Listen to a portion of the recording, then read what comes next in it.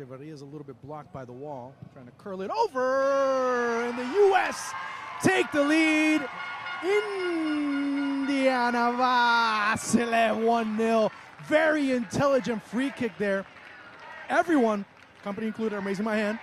I thought that Vassilev would take it to the near post, and intelligently he anticipates that.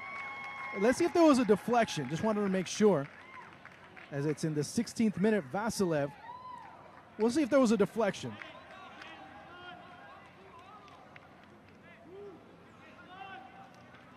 Vassilev, there might have been a slight deflection, but Vassilev already knew where the intention was